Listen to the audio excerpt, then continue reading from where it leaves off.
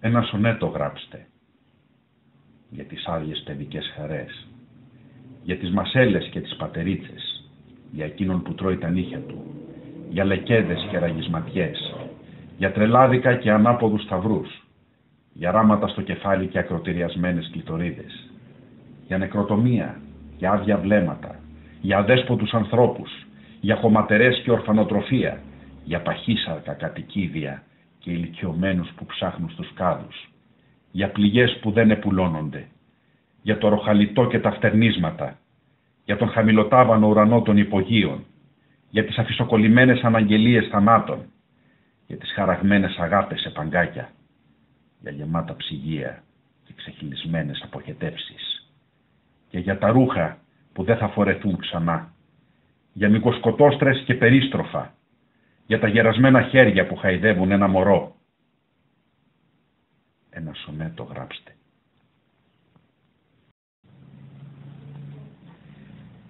Το φαγητό μου το τρώω, μαμά. Τα δόντια μου τα πλένω, μην ανησυχείς. Και όταν κρυώνω φορώ το χοντρό παλτό. Μαμά, sorry, το πρόβλημα δεν είναι ο καιρός ούτε η κακή διατροφή. Με ακούς, αλλού είναι το πρόβλημα. Βρίσκομαι στη γη 15.000 μέρες και ακόμα να προσαρμοστώ. Και προπαντός να μη συχαίνομαι όσα μπορώ και συνηθίζω. Το κρεβάτι που τρίζει, την τηλεόραση ως μοναδικό συνομιλητή, τα παγωμένα καλοριφέρ, τις κοσέρβες, τις τρίκες κάλτσες, τα αντικαταθλιπτικά χάπια, το όνομά μου στις λίστες ευρέσεως εργασίας, τους τέσσερις τείχους, τις άδειες κορνίζες, τα πλαστικά μαχαίρια, τη νεκρή μου γάτα, τις πόρτες ασφαλείας, τη χαμένη μου αξιοπρέπεια, τις πόρτες ασφαλείας. Είμαι ελευθεριακός από τον blog Ελευθερία Τίποτα και είμαι μαζί με τον Γιώργο Λίλη. Τώρα πώς να σου πω ποιητή και μεταφραστή. Ε, είναι δύο ιδιότητες. Είναι δύο ιδιότητες, ναι. Μμμ. Που σε χαρακτηρίζουν. Εντάξει, πες μόνο Γιώργος. Ωραία. Να πω και το επίθετο μας. Γιατί υπάρχουν πολλοί Γιώργηδες. Ναι. Ο Γιώργος ο Λίλης. Λοιπόν, για να μιλήσουμε και για κάποιες, για τις ποιητικές σου συλλογές μάλλον, με αφορμή αυτές και, και για την ποιήση γενικά και για άλλα πράγματα. Ε, θα αρχίσω διαβάζοντάς σου κάποια πράγματα από κάποιες ποιητικές σου συλλογές, ωραία; Ναι. Ε, αρχίζοντας από τη συλλογή στο σκοτάδι μετέωρος από τις εκδόσεις Μελάνη το 2003 στο ποίημα «Η φωτιά» γράφεις τόσο γρήγορα το απρόπτο εισχωρείς το καθιερο... καθιερωμένο και το λαιλατή. Και θέλω να σε ρωτήσω αν είναι όντως έτσι. Το απρόπτο όντως μπορεί να λαιλατήσει το καθιερωμένο. Είναι τόσο εύκολο. Θα σου πω ότι τι σκέφτηκα όταν το έγραφα αυτό γράψεις. το στίχο. Θυμάσαι, ε; ναι. Ε, θυμάμαι και επίσης πώς γράφτηκε το ποίημα. Θα σου πω μετά. μμμ. Α μιλήσουμε τώρα για το στίχο πρώτα. Έχεις καθιερώσει μια συγκεκριμένη διαδρομή να πας στη δουλειά σου κάθε μέρα. Μμμ. Και ξαφνικά ε, πέφτεις ε, στο πεζοδρόμιο, ε, παραπατάς και σπάς το πόδι σου. Αυτό είναι το απρόοπτο που χτυπά το καθιερωμένο. ε, Οκ. Σωστό. το λέω, το αναφέρω έτσι απλά. Α, πιστεύω ότι μερικές φορές όταν είμαστε τόσο σίγουροι για τον εαυτό μας ότι έχουμε μια στιβαρή πραγματικότητα και καθημερινότητα. Ε, υπάρχουν αυτές οι μικρές ανατροπές. Μμμ. αυτά τα απρόοπτα που λέμε τα οποία μας ε, δείχνουν ότι δεν είμαστε τόσο δυνατοί και σίγουροι μερικές φορές που νιώθουμε. Όντως το, το απρόπτο το θεωρώ ε, ότι είναι μια καλή φάση για τη στη ζωή γιατί μας ξαναεπαναφέρει ε, σε μια κατάσταση που λέμε ότι όχι, πώς, όχι ταπείνωσης, θα έλεγα ταπεινότητας καλύτερα. Μμμ. Ότι δεν είμαστε αυθεντίες, ότι δεν έχουμε ε, δεν μπορούμε να κυριαρχήσουμε σε, ε, ούτε στη φύση ούτε στη ζωή μας και εκεί που λέμε ότι έχουμε καταφέρει τα πάντα τσακ έρχεται κάτι και μας τα διαλύει όλα και ξαναρχίζουμε από την αρχή. Αυτό δηλαδή δεν είναι κακό το αυτό το Ναι. απρόπτο. Όσο για αυτό το ποίημα που, που λες και για τη φωτιά, ε, συνέβη όντως. Δηλαδή ήμουνα στη Σάμο. Ε, ο πρώην πεθερός μου είχε χτίσει ένα σπίτι. Δούλεψε 20 χρόνια για να το χτίσει. Ξαφνικά σε μια μέρα ήρθε, ήρθε η φωτιά και το έκαψε. Και τελείωσαν όλα. Ναι. Γι' αυτό αναφέρω, αν, αν διαβάσεις το, το βιβλίο, υπάρχει ε, αυτή η ιστορία με τη φωτιά που καίει το σπίτι και όλα Σωστά. χάνονται. Ναι. Βέβαια υπάρχει αυτή η ελπίδα γιατί πάντοτε και να φτάσουμε στο μηδέν και να διαλυθούμε και να, να χάσουμε τα πάντα, πάλι θα ξεκινήσουμε από την αρχή. Μμμ. Μέσα από τις τάχτες θα αναγεννηθεί ένα καινούριο σπίτι, μια καινούργια ζωή. Μμμ. Ωραία. Θα πάω τώρα σε ένα άλλο ποίημα από αυτή την ποιητική συλλογή που λέγεται «Η μνήμη» και γράφεις «Επικαλεστήκαμε την τέχνη για να μας βγάλει από τα πιθανά διέξοδα, μα πάλι ένα κενό σ- σκόνη πάνω από την επιφάνεια των προσπαθειών». Ε, και αναρωτιόμουν όταν το διάβασα τελικά αν δεν μπορεί να καταφέρει αυτό το πράγμα η τέχνη. Τι μπορεί να καταφέρει; Είναι αυτό που έλεγα και πριν, ότι μερικές φορές νιώθουμε την, ότι είμαστε υπερβολικά δυνατοί και η τέχνη σου δίνει νομίζω αυτή την αίσθηση ότι είσαι ένας μικρός θεός. Ε, στο τέλος όμως τι μένει από αυτό; Έχω αναρωτηθεί, δεν ξέρω την απάντηση. Ή την ξέρω αλλά δεν θέλω να την απαντήσω γιατί ίσως σταματήσω να γράφω Ναι, άμα το απαντήσεις. άμα το απαντήσω. Ναι. Γιατί και αυτά πά- πάλι αναλώσιμα είναι. Με ποια έννοια το λες. Δεν ξέρω, 100 χρόνια αργότερα θα, μπορούσε, θα, θα υπάρχει ας πούμε αυτό το βιβλίο να το συζητήσει κάποιος θα, ή θα έχουν όλα εξαφανιστεί. Ε, ή επίσης ε, σαν άνθρωπος που δημιουργεί, τώρα στην περίπτωση στη δική μου που γράφει, ε, πόσο τον έχει ωφελήσει στη ζωή του; Δεν ξέρω, εσύ πες μου. Ε, Πώς σε έχει ωφελήσει; ε, νομίζω λίγο, Λίγο. λίγο. Γιατί η καθημερινότητα είναι εντελώς διαφορετική από το ε, να γράφεις ποίηματα. Εκείνη τη στιγμή που γράφω βγαίνουν κάποια πράγματα από μέσα μου, αρχίζω να ανακαλύπτω τον εαυτό μου, μέσω εισαγωγικών γίνεσαι ένα καλλιεργημένος π.χ. άνθρωπος, αλλά έρχεσαι αντιμέτωπος με την καθημερινότητα και με τη, τη σκληρή πραγματικότητα και εκεί πρέπει να, πρέπει να δράσεις. Εκεί νομίζω ότι η τέχνη δεν βοηθάει. Δεν βοηθάει. Μα ίσως να γίνεται και βάρος, ε. Ε, σε μερικούς έχει γίνει και βάρος. Μμμ. Ε, στη δική μου περίπτωση, επειδή δεν τα παίρνω και πολύ στα σοβαρά όλα αυτά, εννοώ δηλαδή υπάρχουν άνθρωποι που παρατηρώ μέσα στον χώρο της λογοτεχνίας που γνωρίζω που θεωρούν τους αυτούς τους κάτι το ιδιαίτερο. Αυτοί οι άνθρωποι ζουν μέσα σε ένα πλασματικό... Έχουν φτιάξει κάτι μια καταφαντασία, ε, πώς να σου πω, γυάλα, Γυάλα. οι οποίοι είναι μέσα και αυτό προστατεύονται. Μερικές φορές λέω τους ζηλεύω. Γιατί μέσα σε αυτή τη γυάλα, μέσα σε αυτή τη φαντασία ε, δεν μπορούν να διακρίνουν κάποια πράγματα. Όπως ε, ότι η ζωή προχωράει και ότι τρως τερκλοποδιές και ότι συμβαίνουν ένα, τόσο, ε, ένα σωρό πράγματα. Ε, εγώ δεν το έχω αυτό. Η ζωή μου ούτως ή άλλως δεν έχει σχέση με τη... Η καθημερινότητά μου δεν έχει καμία σχέση με την ποίηση. Με... Ποιητής είμαι εκείνη την ώρα που γράφω, γι' αυτό που μου με ρώτησαν τι να πούμε ποιητής και ή μεταφραστής. Αλλά Αυτό είναι πάρα πολύ μικρό κομμάτι. Είμαι εκείνη την ώρα που γράφω. Τώρα που το λες αυτό, Μμ. εκείνη την ώρα που γράφεις σκέφτεσαι αυτά που είναι να γράψεις ή τα σκέφτεσαι και κατά τη διάρκεια της καθημερινότητας όμως; Ε, τώρα τελευταία τα σκέφτομαι. Υπήρχε μια περίοδος, πιο μικρός, που έβλεπα και έγραφα. Μμ. έβλεπα όλη την εικόνα, χωρίς λέξεις. Και όταν καθόμουν να γράψω, μετέφερα αυτό που έχω δει. Ε, τα τελευταία χρόνια όμως σκέφτομαι. Με απασχολεί δηλαδή το... Σκέφτομαι κάποια πράγματα, κάποια γεγονότα, κά... επηρεάζομαι από διάφορες... ε, και από την προσωπική μου ζωή, αλλά και από αυτά που βλέπω γύρω μου ε, και με βάζει σε σκέψεις. Το τελευταίο καιρό πιστεύω ότι σκέφτομαι περισσότερο και γράφω. Οι δικοί μου προβληματισμοί γύρω από τον κόσμο, τον εαυτό μου, την οικογένεια, αυτά που με περιβάλλουν. Ωραία. Ε, θα πάω τώρα σε ένα άλλο ποίημα της ίδιας συλλογής που λέγεται κατακαιρματισμένη απολογία μες στο σκοτάδι. Και γράφεις Μπορούν οι λέξεις να κρατήσουν τη γεύση σου μετά το θάνατό σου. και ξέρω, οι λέξεις σε κάποιο άλλο σημείο δεν με σώζουν. Και θέλω να σε ρωτήσω τι ρόλο διαδραματίζουν τελικά οι λέξεις ε,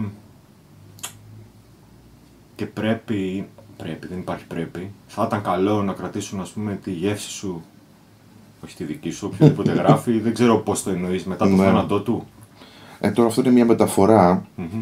Γεύση εννοώ κάτι από τον εαυτό σου, κάτι πολύ συγκεκριμένο.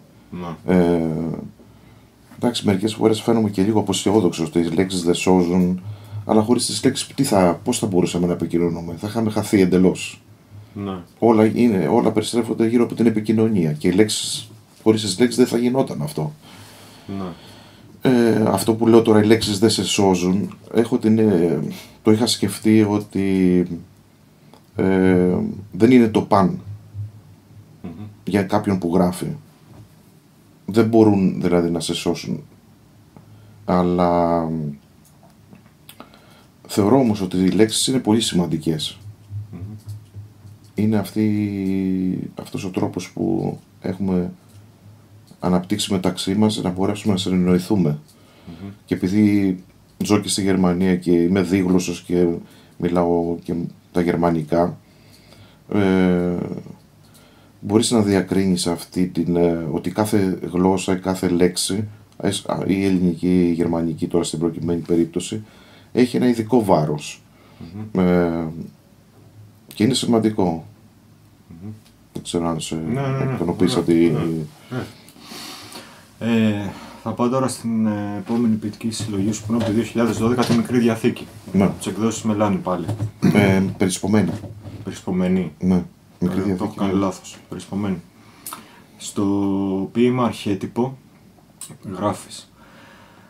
Πριν και μετά από κάθε προσπάθεια, υπάρχει πάντα κάτι να δίνει όθηση σε αυτό που καταλήξαμε να ονομάζουμε ύπαρξη.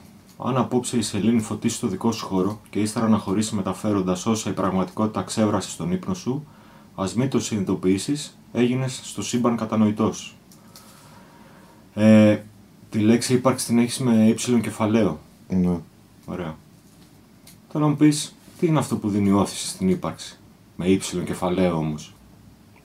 Ναι. Η ίδια η ύπαρξη. Για πες. είναι αυτό το. Και όλο αυτό το ποίημα που ανέφερες και στο αρχέτυπο ε, παρουσιάζει μια εικόνα στην αρχή ενός πηγαδιού που φωτίζεται ένα απλό πηγάδι με λίγο νερό μέσα και ξαφνικά έρχεται η σελήνη και καθρεφτίζεται στα νερά. Ε, η ύπαρξη μπορεί να προσδιοριστεί μόνο από την ύπαρξη, από τους ανθρώπους γύρω μας. Δηλαδή, με- είχα γράψει ένα ποίημα πιο παλιά ε, και πραγματικά σκεφ- το σκεφτόμουν. να Λέω, μόνος μπορείς να υπάρξεις. Να είσαι εντελώ μόνος στον κόσμο. Ποιος θα σου δώσει την, ε, την αίσθηση ότι, ότι όντως υπάρχεις, δεν υπάρχει κάποιο, κάτι γύρω σου, ούτε κάποιος άνθρωπος, είσαι εντελώς μόνος. Μπορεί να αισθάνεσαι ότι υπάρχεις και ότι είσαι αυτός σαν οντότητα, αλλά χρειαζόμαστε τον άλλον για να αισθανθούμε ότι υπάρχουμε.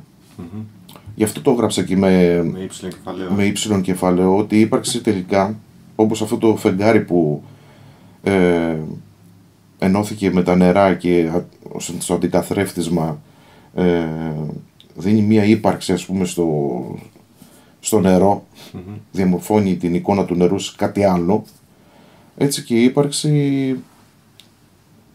χρειάζεται το ένας στον άλλον, χρειαζόμαστε το ένας στον άλλον, τον έχουμε ανάγκη. Ωραία. Σε ένα άλλο ποίημά σου που λέγεται Αίθουσα Διδασκαλίας γράφεις εδώ δεν ανακατασκευάζεται η ιστορία του ανθρώπινου γένους, αλλά η ταπείνωση, η δουλικότητα, η αμφισβήτηση. Θες να μου πεις λίγα πράγματα γι' αυτό; Ναι, νομίζω ότι ο Συμφωνώ κόσμος... απόλυτα σε αυτά που γράφεις, Ναι. αλλά θέλω να μου πεις εσύ που τα έγραψες. Ε, σε αυτό το ποίημα αισθάνθηκα ότι βρίσκομαι σε, όντως σε, σε, ένα, σε μια τάξη γιατί απο- πιστεύω ότι από εκεί ξεκινάνε πολλά, πολλές παράμετροι που διαμορφώνουν την ε, σημερινή κοινωνία, τους, με- τους μελλοντικούς ενήλικες. Και δυστυχώς έχω την εντύπωση ότι από εκεί ξεκινάει το λάθος. Ότι Το σχολείο εννοείς. από το σχολείο, ναι. Ότι η ταπείνωση, η δουλικότητα και ό,τι αναφέρει το ποίημα μας διαμορφώνουν μέσα από το σχολείο να μην επαναστατούμε, να μην έχουμε μια δεύτερη άποψη, γνώμη, ε, να μπούμε σε ένα καλούπι έτσι ώστε αυ- έτσι που έχουμε καλουποθεί και έχουμε προσαρμοστεί να είμαστε έτοιμοι για μια κοινωνία που ε, χρειάζεται ανθρώπους οι οποίοι δεν θα σηκώσουν κεφάλι. Γι' αυτό το, το αναφέρω. Ε, και, στα, και στη δική μου εποχή που στο σχολείο το παρατηρούσα, αλλά και τώρα που έχω παιδιά και βλέπω, ε, δεν τους αφήνουν το περιθώριο της δημιουργικότητας και της ε, προσωπικής ε, γνώμης. Και έτσι διαμορφώνονται κοινωνίες ε, πρόβατα, που το θεωρώ ε, λάθος. Ωραία. Αυτό ήταν το κίνητρο δηλαδή Για να το γράψεις. για να το γράψω. Σκεφτόμουν στα τα δικά μου παθητικά χρόνια και βλέποντας κυρίως ε, επειδή το 12 και όλα τα, τα παιδιά μικρά ήταν στο σχολείο ε, θυμάμαι ένα παράδειγμα στο ο Μαξιμίλιαν τώρα ο γιος μου ήθελε ε, τους βάλαν να ζωγραφίσουν τα μικρά τώρα για, στην πρώτη δημοτικού τους βάλαν να ζωγραφίσουν ένα τοπίο ο Μαξιμίλιαν είχε βάλει έναν ήλιο να πετάει με φτερά, είχε βάλει κάτι δράκους, κάτι τέτοια και η δασκάλα τον αποπήρε. Λέει δεν είναι τοπίο αυτό. Εγώ θα σου πω ότι είναι τοπίο. Ναι, το οποίο είναι ο ήλιος αλλά χωρίς φτερά. Ε, έτσι αρχίζει και του το, το, το, το κόβει τη, τη φαντασία. Του στερεί αυτή την αίσθηση της ποιητικότητας εκείνη την ώρα. Κατάλαβα. Ωραία. Ε, θα πάω τώρα στο, σε ένα άλλο ποίημα στο μουτζουρωμένο χαρτί που γράφεις. Εγώ είμαι αυτός που τα πρωινά καταγίνομαι με τις ατραπούς της καθημερινότητας και με ζήλο εγώ που κρύβομαι πίσω από χάρτινα φτερά ψηλαφώντας το γραφικό μου χαρακτήρα. Είναι εφικτό να είμαι ποιητής προστατεύοντας τόση ύλη. είναι εφικτό. Η ποίηση δεν είναι και ύλη. Δηλαδή εννοώ είναι αποτυπωμένη σε χαρτί, ας πούμε, Ναι. για παράδειγμα. Το λέω εντελώς Ναι, υλικά τώρα. είναι. Αν και βασικά θες- νομίζω ότι η ποίηση έχεις, έχει σχέση περισσότερο με την πνευματικότητα και με, την, ε, με τη σκέψη, το οποίο δεν είναι υλικό. Αλλά υπάρχουν πιστεύω και δύο διαφορετικά είδη ποίησης. Για πες. Ε, είναι αυτός που γράφει τα ποίηματα και είναι αυτός που ζει σαν ποιητής. Ωραία. δεν είναι Ωραίος πάντοτε διαχωρισμός. δηλαδή ε, κατά ανάγκη κάποιος που γράφει ποί- ποίηματα να είναι κατά ανάγκη και ποιητής. Για μένα προσωπικά σέβομαι αυτούς που δεν γράφουν αλλά ζουν ποιητικά. Τι πάει να πει όμως να ζεις σπίτικα, δηλαδή; Τι πάει να πει- Είναι αυτός ο οποίος δεν παίρνει σε καλουπια ο άνθρωπος, που ακολουθεί το δικό του προσωπικό δρόμο, που ε, όλο το γύρο περιβάλλον του το αισθάνεται έντονα μέσα του, είτε καλό είτε άσχημες καταστάσεις τις βιώνει, δηλαδή θα συμμε... μετέχει στον πόνο του άλλου, μετέχει στη χαρά του άλλου, μετέχει στην ομορφιά της φύσης, στενοχωριέται από την ασχήμια της, ε, μιας κατάστασης. Είναι αυτός που είναι ευαίσθητος. Ή το είχα σκεφτεί και κάποτε ένας άνθρωπος ο οποίος δεν γράφει ποίηματα και είναι ποιητής, τον είχα φανταστεί να είναι όλο το σώμα γεμάτο μάτια. Δηλαδή κοιτάει παντού, αισθάνεται παντού, αλλά είναι και περιβαίσθητος γιατί αν σε- όπου και να κουμπίσεις, το επειδή το μάτι είναι πολύ ευαίσθητο, θα πονέσει. Ναι. Αλλά σέβομαι περισσότερο αυτούς τους ανθρώπους παρά αυτούς που γράφουν. Μμ. Τώρα στην προκειμένη περίπτωση έγραψα το ποίημα γιατί λέω είναι ένας άνθρωπος που του αρέσει περισσότερο να πει ένα κρασί και να τρώει μπριζόλες παρά να ε, αν μου πεις ας πούμε θα πάμε σε μια εκδήλωση ποίησης ή θα πάμε σε κάνα κουτούκι μπορώ να σου πω πάμε στο κουτούκι Θα... Μπορεί να το προτιμήσεις, ας Μπορεί να το προτιμήσω, ναι. Ναι. Ε, γι' αυτό λίγο ε, ηρωνεύομαι τον εαυτό μου. Πώς είναι δυνατόν τώρα ένας άξεστο να κάθεται και να γράφει ποίηματα; Ναι. Ε, Φαντάζομαι όμως ότι δέχεσαι ότι θα υπάρχουν περιπτώσεις που και γράφουν ποίηματα και ζουν ποιητικά. Ναι, Ε; ε, ναι, υπάρχουν, βέβαια υπάρχουν. Μμμ. Ε, και αυτό τότε είναι μια κορύφωση γιατί αυ- οι αληθινοί ποιητές ε, γράφουν και αληθινά ποίηματα. Φαίνεται ένα ποίημα όταν είναι αληθινό. Δεν μπορεί να το κρύψεις. Όσο και τεχνική να έχεις βάλει μέσα, όσο και να έχεις να διαβάσει από το πρωί το βράδυ ποίηση, ε, θα φανεί αυτό. Ναι. Ε, και εκεί γίνεται μια κορύφωση γιατί αυτά που έχεις αισθανθεί και έχεις δει και έχεις ε, σκεφτεί θα περάσουν μέσα στο ποίημα. Αλλά επειδή σήμερα αυτό είναι σπάνιο φαινόμενο και βλέπεις ότι πάρα πολλοί γράφουν για να γράφουν Μμμ. με σκοπό ή να γίνουν γνωστοί σε ένα μικρό κύκλο ή να προβληθούν ε, εκεί χάνεται η ουσία της ποιησης Γι' αυτό το είπα λίγο πιο έντονα, ας πούμε, με αυτό. Είναι, άλλ- υπάρχουν δύο είδη Ναι. ε, ποιητών. Ποιητών. Ωραία. Σε ένα άλλο ποίημα που λέγεται Επιοίκεια, γράφεις Σε αυτόν τον σαβα... σαραβαλιασμένο κόσμο διασφαλίζεις ένα πέρασμα μακριά από την ασχήμια που με τόση ευκολία ανεχόμαστε. Και θέλω να μου πεις για σένα ποια είναι η ασχήμια στον κόσμο και πώς όντως μπορούμε να διασφαλίσουμε περάσματα. Αν μπορούμε. Να. Η ασχήμια υπάρχει και εξωτερική, σε, σαν εξωτερική εικόνα, Μμμ. Αλλά αυτό που με απασχολεί περισσότερο είναι η ασχήμια της ψυχής. Αυτή είναι που με τρομάζει περισσότερο. Η οποία μερικές φορές λόγω της ασχήμιας της ψυχής μπορεί να δημιουργήσουμε και μια ασχήμια και στον κόσμο που ζούμε. Ενώ εξωτερικά. Ε, αυτή η ασχήμια μπορεί να καταπολεμηθεί αν αρχίσει ο- κάποιος να έχει αυτό το είδος της αυτογνωσίας ότι κάτι δεν πάει καλά με μένα. Ναι. Ε, δύσκολο, πολύ δύσκολο. Αλλά όχι κατόρθωτο. Ε, με απασχολεί όμως πολύ γιατί βλέπω ότι υπάρχει μεγάλη ασχήμια. Οι άνθρωποι έχουν γίνει πολύ εγωιστές, το οποίο, το, το οποίο το θεωρώ είδος ασχήμιας, δεν ενδιαφέρονται για τους άλλους, ε, δεν έχουν ε, γνώμη και άποψη για το τι συμβαίνει στον κόσμο ή δεν τους ενδιαφέρει, μπορεί να έχουν αλλά μην τους ενδιαφέρει ή να μπαίνει το συμφέρον που τα καλύπτει όλα αυτά και τα διαλύει όλα. Μμμ. Και περάσματα υπάρχουνε; Πώς να διαφύγουμε από αυτό το πράγμα; Ναι, υπάρχουν περάσματα.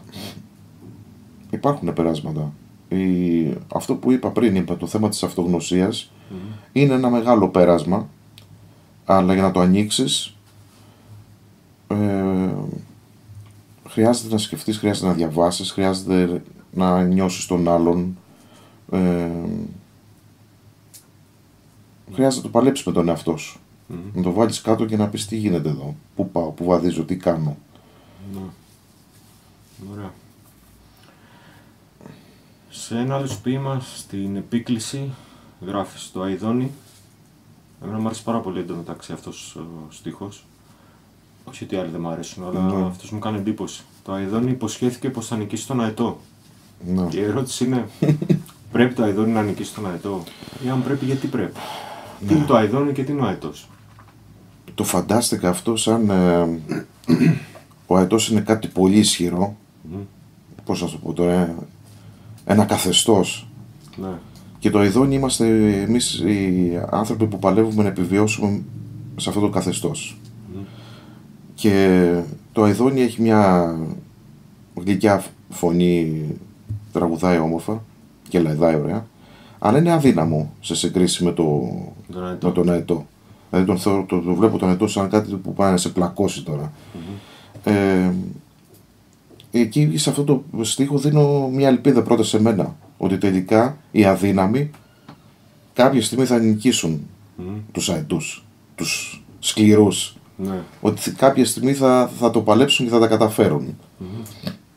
Ωραία. Σε ένα άλλο ποίημα στην ίδια συλλογή στο τοπίο των θαυμάτων γράφεις Ένιωθα παράξενο όταν έμπαινα σε αυτά τα άδεια σκοτεινά, σκοτεινά κελιά. Μου άρεσε να κρύβομαι εκεί, να υποδίω με κάποιον που προσφέρεται να γεμίσει με ανθρώπινη οικειότητα έναν εξωστρακισμένο χώρο. Με αφορμή λοιπόν αυτό, θέλω να μου πεις ε, την εμπειρία σου από τη φυλακή γιατί μπήκες φυλακή και αν αυτός ο χώρος, επειδή τον έζησες, Ναι. αν όντως είναι ένας εξωστρακισμένος χώρος. Ναι. Τώρα μπαίνουμε σε ένα μεγάλο Ναι. κεφάλαιο Θέμα, ναι. και θέμα. ναι. Φυλακή, ναι. Ε, το αρχές του 90 Μμμ. ζούσα στο Αγρίνιο τότε. Είχαμε... Είναι και ο τόπο της γέννησής σου. Εκεί μεγάλωσε. Ε, εκεί μεγα, μεγάλωσα στην Αθήνα, Α, αλλά 12 χρονών ε, Πήγες στο Αγρίνιο. επιστρέψαμε με οικογενειακό στο Αγρίνιο που είναι τόπος καταγωγής στο- των γονιών μου. Ε, είχα, είχαμε, είχαμε φτιάξει μια πολύ ωραία παρέα τότε με κάποια παιδιά, προβληματισμένοι, σε μια επαρχία με πολύ αυστηρή δόμηση και το οικογενειακό περιβάλλον έτσι λίγο αυστηρό. Ε, βασικά, αν σου πω, το- να θυμηθώ τώρα εκείνη την περίοδο, ήταν, ε, αισθανόμουν μια, ένα πνίξιμο. Και είχαμε ε, σκεφτεί διάφορα πράγματα, πώς θα προχωρήσουμε στο μέλλον. Και τότε ήρθε το χαρτί του στρατού για να παρουσιαστώ, όπως και άλλα παιδιά εκείνη της περίοδου. ναι. Και όχι πολύ συνειδητά, ήμασταν και πετσερικάδες. Ε, Αποφασίσαμε ότι αντί να πάρουμε Ι5 και να αποφύγουμε το στρατό, μμμ, ε, να το παίξουμε τρέλα δηλαδή, ότι θα γίνουμε αντιρρήσεις συνείδησης. μμμ. Ε, υπήρχε βέβαια τότε ε, μια πολύ έντονη αντίδραση, ειδικά από την Ευρώπη, ε, από τη Διεθνής Αμνηστία, γιατί η Ελλάδα ήταν η μόνη χώρα στην, ε, που είχε ενταχθεί στην Ευρωπαϊκή Ένωση, η οποία, δεν, η οποία φυλάκιζε τους ε, αντιρρησίες συνείδησης. Νομίζω ότι ακόμα συμβαίνει αυτό. Όχι, όχι. Από, ήμασταν εμείς τελευταίοι, από τους τελευταίους. Α, ναι. Ναι. Α, Είμαστε, οκ. Τελικά βάλαμε κι εμείς ένα μικρό Λιθαράκι. λιθαράκι, ε, γιατί η Διεθνής Αμνηστία μας υποστήριξε πάρα πολύ. Μμμ. Με χιλιάδες γράμματα και με, με κινητοποιήσεις, και, αλλά δεν ήμασταν μόνο εμείς. Μμμ. Είχε ξεκινήσει αυτό ειδικά από τις αρχές του 80 Ε, βέβαια, ναι. Και θυμάμαι κιόλας επειδή το είχα ψάξει κιόλας υπήρχαν ε, περιπτώσεις ε, αντιρρησιών συνείδησης οι οποίοι κάθισαν μέχρι και 7 χρόνια μέσα Μμμ. φυλακή. Τελικά το 2001 τέλος όποιος ήθελε να μην πάει στο, να, όποιος επιθυμούσε να μην πάει στο στρατό μπορούσε να κάνει κοινωνική θητεία όπως ήταν σε όλα τα άλλα. Ναι. Το θέμα είναι ότι αυτό που δεν ήξερα ήταν ότι όταν παρουσιάστηκα και είπα ότι δεν θέλω να πάρω όπλο, καλά έφαγα ένα χέρι ξύλο, με κλείσανε μέσα στο κρατητήριο. Ήταν και 40 βαθμοί τότε, ήταν 19 Ιουλίου το 93. Ε, δεν μου δίναν νερό δύο μέρες. Αυτά πού, σε Αυτά ποιο- στο Μεσολόγγι. Στο Μεσολόγγι. Ναι, στο Μεσολόγγι. Ευτυχώς υπήρχε μέσα στο, στο κελί, τώρα δεν θέλω και πω να μακρηγορώ. Όχι, Υπήρχε στο, μακρηγόρησες, στο δεν κελί, υπάρχει είχαν πρόβλημα. και άλλοι κρατούμενοι, είχαν ανοίξει μια τρυπούλα στον τοίχο και φαινόταν ε, ο δρόμος και τα σπιτάκια δίπλα. Και είχα φωνάξει νερό, νερό, διψάω. Τους φέρω απ' έξω. Και μου φέραν απ' έξω, μια γιαγιά μου φέρε απ' έξω και ήταν και επικίνδυνο γιατί ήταν ε, στο, στο στρατόπεδο ήταν ε, φρουρή και ευτυχώς. Ναι, τέλος πάντων ε, ήταν το θέμα ότι δεν, ε, το 1974 που έγινε η επιστράτευση είχ- δεν είχε σταματήσει ο νόμος της γενικής επι- της, εγεν- της επιστράτευσης. Υπήρχε ακόμα στα, σαν γραφειοκρατικό Κατάλοιπο, ας πούμε. ναι, κατάλοιπο. Που σημαίνει ότι όποιος ε, αρνούνταν τη στράτευση αυτομάτως ήταν εχθρός της πατρίδας Εννοείται. και, Του κράτους και όλου. και τέλος καταδικάζονταν. πάντων. Ναι. Έτσι έφτασα να καταδικαστώ τέσσερα χρόνια. Ε, πήγα στις στρατιωτικές φυλακές Αυλώνας και τελείωσα στις ε, αγροτικές φυλακές Αγιάς Κρήτης και βγήκα στα δύο χρόνια γιατί δούλεψα, δούλευα μέσα πιάνονταν η μία μέρα για δύο και βγήκα και με τα τρία πέμπτα Μμμ. αλλά μητρό μαύρο Μμμ. Ναι, εννοείται. Εντάξει, οι συνθήκες της φυλακής ε, ήταν πολύ δύσκολες, πολύ σκληρές. Ήταν, ε, με είχαν βάλει και εμένα με βαρυπινίτες, μέσα το κελί ήταν 12 άτομα. Ε, έχω δει και τι δεν έχω δει, από βιασμούς μέχρι μαχαιρώματα. Εντάξει, εγώ δεν αντιμετώπισα προσωπικά κάτι, για- ε, γιατί ε, υπάρχει μια ιεραρχία στη φυλακή και ένα σεβασμός. Όταν κάποιος ξέρουν ότι ο λόγος που έχει μπει μέσα είναι πολιτικός και δεν έχει κάνει κάποιο φόνο ή κάτι άλλο δεν ε, σε πειραζουν Αλλά άμα είσαι τώρα δύο χρόνια μέσα, έχεις δει πολλά. Εντάξει, δεν το μετανιώνω τώρα. Αν μου έλεγες αν θα το έκανα τώρα στα 45 μου, δεν ξέρω. Εντάξει, ναι, τώρα. Ε, ε, εντάξει. Αλλά ε, το θέμα είναι ότι το κράτησα μέχρι τέλους και ότι βγήκε και κάτι από αυτό. Και σαν με έγινα πιο, εις- πιο δυνατός, πιο αποφασιστικός στη ζωή μου. Ε, και επίσης όπως σου είπα βάλαμε και ένα μικρό λιθαράκι να τελειώσει αυτή η ιστορία για να μην παίρνουν τζάμπα ο κόσμος μέσα. Ωραία. Ε, είναι όντως η φυλακή λοιπόν ένας εξωστρακισμένος χώρος; Είναι ναι, Είναι. ναι, είναι. Νομίζω ότι κανένας δεν ασχολείται με τις φυλακές. Ναι, Δηλαδή, τι θέλω να πω, όχι κανένας. Ενώ ότι η μεγάλη πλειοψηφία της κοινωνίας δεν την απασχολεί το θέμα καθόλου. ναι. Τη μεγάλη πλειοψηφία. Δηλαδή, δεν- δεν τους ενδιαφέρουν οι συνθήκες, δεν, δεν ενδιαφέρονται. ναι. Ε, πρέπει να το ζήσεις κιόλας για να το... ναι, να εντάξει. το Δεν λέω όχι. ε, οι, οι συνθήκες είναι απάνθρωπες. Δεν... Να φανταστείς τώρα οι στρατιωτικές φυλακές Αυλώνας τη, τη, τις έκλεισε η Ευρωπαϊκή Ένωση γιατί ήταν ε, οι συνθήκες τι, ήταν φυλακή 80 ατόμων και ήμασταν 420 άτομα. Φαντάσου τι γινόταν μέσα. Αλλά εντάξει, μπορώ να τους καταλάβω, αλλά θα, θα, θα έπρεπε όμως να είναι μια μειονότητα κλειστή, δεν βγαίνουν παρά έξω πράγματα. Ε, Επίσης και οι φυλακισμένοι σπάνια μπορεί να μιλάνε. Που το, και εγώ άργησα να, να μιλήσω για αυτό το ζήτημα. Ναι. Ε, γιατί είναι, είναι και βιώματα τα οποία ε, φανταστείς όταν βγήκα δεν μπορούσα να περπατήσω. Ένιωθα ότι τα ταβάνια πέφτουν πάνω μου επειδή τα, τα σπίτια όλα χαμηλοτάβανα και στη φυλακή ήταν, ήταν δύσκολο. Όταν βγήκα έξω δεν μπορούσα πραγματικά να περπατήσω. Αλλά το πιο χειρότερο αίσθημα είναι ο χρόνος που δεν περνάει μέσα με τίποτα. Όταν λέμε με τίποτα και να βλέπεις, θυμάμαι τη σκηνή, δηλαδή δάκρυζα εκεί, ήμουνα, δεν ξαναπήγαινα στο παράθυρο, ήταν ένα μεγάλο παράθυρο που έδειχνε- έδειχνε στην, στην αυλώνα την εθνική οδός και να βλέπεις να κινούνται αυτοκίνητα συνέχεια και εσύ να είσαι εκεί ακίνητος. Πω, πω, φοβερό αυτό. Ε. Ε, Να ε, κινούνται οι δεν- μηχανές και ένας άνθρωπος να μην μπορεί Ναι. να κινηθεί. ναι, να είσαι σε αυτό το συγκεκριμένο σημείο και να βλέπεις ότι ο κο- η ζωή έξω συνεχίζεται αδιάκοπα. Αυτό είναι σε διαλύει. Αφού υπήρχε μετά από τον 6ο-7ο μήνα δεν πήγαινα καν προς τα εκεί, δεν μπορούσα. Οκ.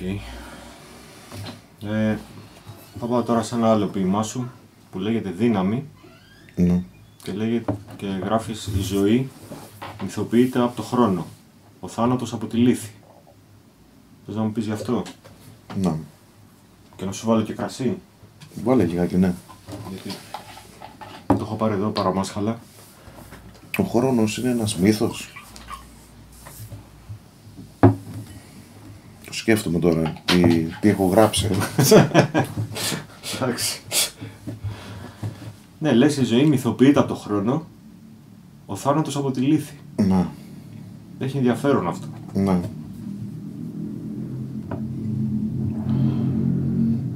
Με σ- σκέφτομαι τώρα τι είναι ο χρόνος τελικά; Ναι, έλαντε.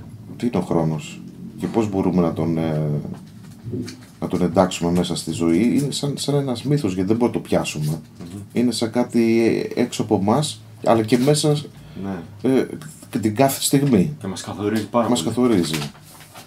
Μάλλον εμείς Αλλά τον έχουμε δεν- κάνει να μας καθορίζει. Ναι, Ίσως. αλλά, αλλά πάλι όμως δεν μπορούμε να τον ελέγξουμε εν μέρη. Όχι, Σκέφτομαι. βέβαια. Ναι, προφανώς. Γι' αυτό δημιουργείται αυτή η μυθοποίηση. Τώρα προσπαθώ και εγώ να, να σκεφτώ τι. Ναι, ναι. Γιατί έχουν περάσει και χρόνια που έχω Ναι, γράψει τα εντάξει, τα- εννοείται.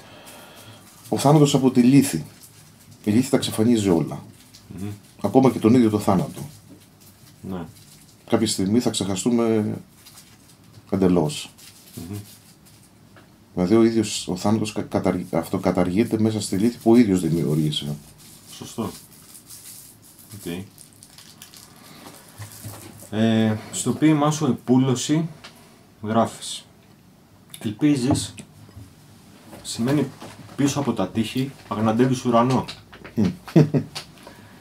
ε, και θέλω να σου κάνω δύο ερωτήσεις πάνω σε αυτό. Ποια είναι τα τείχη σήμερα και ποιο το περιεχόμενο της ελπίδας; Ναι. και αν πιστεύεις ότι η ελπίδα μπορεί να στη δώσει κάποιος ή τη δημιουργούμε εμείς οι ίδιοι, αν είναι να δημιουργηθεί κάποια ελπίδα. Ναι. Γιατί ξέρεις τώρα τα τελευταία χρόνια με το ΣΥΡΙΖΑ η ελπίδα έρχεται, φεύγει, Ναι. πάει δεξιά, πάει αριστερά. Ναι. Ναι. Έχει γίνει λίγο η ελπίδα. Η ελπίδα είναι μια πολύ παρεξηγημένη πλέον λέξη. Και ειδικά όταν την προσφέρουν άλλοι, έχω πολύ μεγάλο ερωτηματικό. αν Αν ισχύει όντως. ναι, αν ισχύει. Στη συγκεκριμένη περίπτωση θα πίστευα για την ατομική ελπίδα. Δηλαδή, ελπίζω ότι μπορεί όντως να υπάρχει, ρε παιδί μου, μέσα στο, μέσα στο, στο βάθος ε, ε, φως στο τούνελ, ας πούμε. Ε, στη συγκεκριμένη περίπτωση είναι μέσα στα τείχη. Τα τείχη που φτιάξαμε εμείς οι ίδιοι βέβαια, έτσι Ναι. είτε της- των ζωών μας, κυρίως τη δική μας ζωή. Φαντάζ, φαντάζομαι ότι η καθημερινότητά μας είναι τόσο, τόσο ε, πιεσμένη που είναι σαν να είμαστε μέσα σε περιφ- περιφραγμένοι. ρε παιδί μου. Και λέω, αν δεν υπάρξει και αυτό το πράγμα μέσα από αυτό το τείχος που είμαστε χωμένοι, ε, δεν υπάρξει και ένας ουρανός που τον βλέπω, ε, μα- πάμε μετά, έχουμε, κα- έχουμε τελειώσει. Ναι. είναι, είναι ο ίδιος ο στίχος ελπιδοφόρος, αλλά δεν έχει καμία σχέση με το, με, όπως ανέφερες και το ΣΥΡΙΖΑ τώρα, Μμμ. η πολιτική, η θρησκευτική, όλα αυτές οι ελπίδες που λένε ότι η θρησκευτική ούτως ή άλλως δεν το, δεν το πιστεύω, Ναι. η ζωή μετά θάνατον ή ότι μας περιμένει ένας παράδεισος και αυτά, ή ο- η πολιτική. Η πολιτική σήμερα έχει αποτύχει παταγωδός, ακόμα που λες και ο ΣΥΡΙΖΑ που πέταξε μια μεγάλη ελπίδα και Μμ. δεν έμεινε τίποτα όρθια. ναι. Είμαι δύσπιστος σε αυτού του είδους τις ελπίδες Σε αυτές που, που δίδονται από άλλους. ας που δίδονται από άλλους, ναι. πούμε. Ναι. Είναι καθαρά προσωπικό πώς, πώς θα καταφέρω να, να ξεφύγω από μια κατασταση ή στην προκειμένη περίπτωση μπορεί να μην ξεφύγω, να είμαι συνέχεια εγκλωβισμένος, φυλακισμένος εκεί μέσα στο τείχος που έχω φτιάξει εγώ ο ίδιος αλλά έχω την ψευδέστηση ότι κάποια στιγμή αυτό δηλαδή με κρατάει λίγο ζωντανό να βλέπω αυτόν τον ουρανό τουλάχιστον. Μμμ. Ωραία. Ε, στο ποίημά σου αντί, αντίδοτο γράφεις. Το αντίδοτο είναι η ίδια μας παρουσία. Η ασχήμια μπορεί να λαιλατηθεί. Ε, και θέλω να σας ρωτήσω το εξής. Τι είναι ασχήμια και με ποιο τρόπο αντίδοτο είναι η ίδια μας παρουσία στην ασχήμια; Ναι, γιατί αν καταφέρουμε, όπως έλεγα και πριν για την ασχήμια, αν καταφέρουμε να, να ομορφύνουμε την ίδια μας τη, τη ζωή, η παρουσία μας είναι μετά σαν ένα λουλούδι, ας πούμε. Ε, μέσα σε ένα, να το παρομοιάσω, μέσα σε ένα χωράφι γεμάτο αγκάθια. Να αν καταφέρουμε δηλαδή να ομορφύνουμε τη ζωή μας, να της δώσουμε ένα νόημα, ε, τότε όντως έχει και ε, νόημα η οντότητά μας, η παρουσία μας. Ε, βέβαια, το, με- αργότερα σκέφτηκα ότι η λεηλασία στο συγκεκριμένο στίχο είναι λάθος λέξη. Θα έλεγα σήμερα, αν το ξανάγραφα δηλαδή, ότι μπορεί να το καταστρέψει, όχι να το λεηλατήσει. Γιατί η λεηλασία είναι, ναι, να- η λεηλασία αρπάζεις. Σε- στην προκειμένη περίπτωση θα έβαζα η ασχήμια μπορεί, μπορεί να καταστραφεί. Οκ. Ναι. Είναι ακόμα πιο ελπιδοφόρο αυτό. Ναι. Δεν μπορεί να καταστραφεί. Ωραία. Θα πάω τώρα στη, στην, στην άλλη σου ποιητική συλλογή. Αρλεκίνος. Είναι εκδόση Μελάνη αυτή. Σωστά το λέω; Τι έχω γράψει, όλες τις Μελάνη έχω γράψει ρε, εσύ. Τι Είναι, εκδόση. είναι πάλι περισπομένη. Εντάξει, έχω κάνει, το έχω κάνει λίγο μπάχαλο εδώ. Εκδόση περισπομένη τέλος πάντων. ναι, περισπομένη. Ωραία. Γράφεις, η αυτογνωσία θεωρείται αμαρτία, η δικαιοσύνη αυταπάτη. Θα μου πεις έτσι ήταν πάντοτε. Πίστευα, είχα την ελπίδα, ακόμα την έχω, πως μετά από τόσους νεκρούς, κρεματόρια, βόμβες ουρανίου, μετά από τόσο πόνο θα μαθαίναμε. Τίποτα δεν μάθαμε. Μαθαίνει τελικά ο άνθρωπος. Μάθαμε κάτι, έχουμε μάθει κάτι. Ή δεν Πριν έχουμε μιλούσαμε μάθει για τίποτα. ελπίδες και τώρα αρχίζουμε. Ε, Φοβάμαι πως δεν έχουμε μάθει. Φοβάμαι Γιατί πως όμως, δεν γιατί έχουμε έχουμε μάθει. Είναι Μετά ένα από όλα ζήτημα αυτά το που οποίο με καταγράφεις απασχολεί. εσύ Τώρα, εδώ, ας πούμε. να φανταστείς τώρα, ε, ζω στη Γερμανία, ας πούμε ένα παράδειγμα. Δεν θα το πίστευα ότι μετά από αυτό που έχουν περάσει, αυτός ο λαός. Από τους Ναζί εννοείς. ε. Ενώ ο- το στίγμα που έχει αφήσει σε αυτή τη χώρα που τους ε, στιγμάτισε μέχρι που δεν υπάρχει άλλος λαός τόσο στιγματισμένος λόγω ε, του Χίτλερ και των ναζιστών.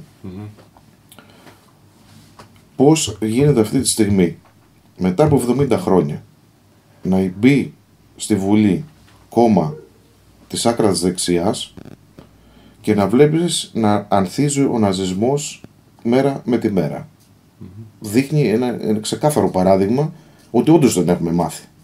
Δηλαδή τόσο- ένα πολύ σκληρό παράδειγμα, κατέστρεψαν τα πάντα, κάψαν ανθρώπους με τέτοιο σύστημα, με, τέτοιο και, με τέτοια οργάνωση και πάνε και λένε ότι δεν υπήρχε ολοκαύτωμα, δεν το πιστεύουμε, είναι προπαγάνδα των Εβραίων και αρχίζει ο λαός αρχίζει και το πιστεύει. Δηλαδή ε, μπορεί οι, οι, οι αρχικές γενιές μετά από το πόλεμο που τράβηξαν και το μεγάλο ζόρι να ήταν να διαφορετικά, να μην ήταν ναζιστές. Όσο περνάνε όμως οι γενιές αλλά έχουμε το ιστορικό. Και το ιστορικό μένει. Και όμως δεν το, Συνεχίζουν.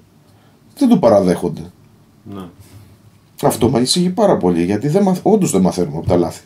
Δεν μαθαίνουν. και από τέτοια χοντρά λάθη δηλαδή. Οκ.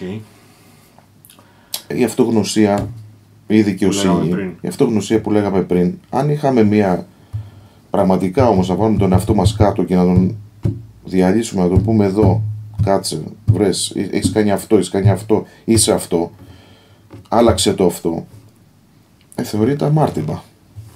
Γιατί αρχίζεις μετά και είσαι συνειδητοποιημένος πολίτης. Ωραία. Ε, γράφεις επίσης, δεν υπολόγισα ποτέ τη νίκη και την ήττα με αριθμούς. Ωραία. Ναι.